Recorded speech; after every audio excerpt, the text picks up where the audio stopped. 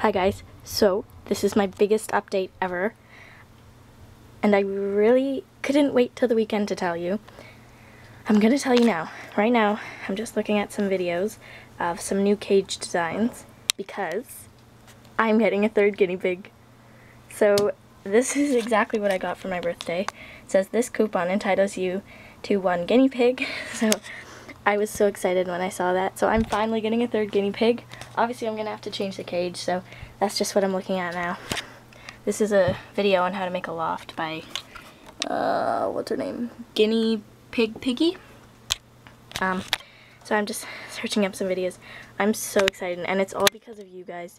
It's, like, I don't even think I would have this right now if it wasn't for you guys. All your comments and your inboxes and all the nice things you did for me.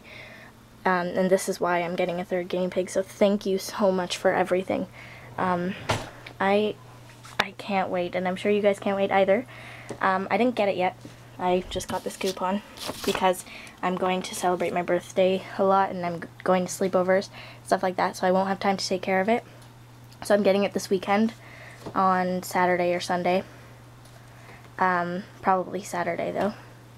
So I'm really excited. I already have some few, a few names planned. I'm not going to tell you yet, but I have to see it first before I can actually name something.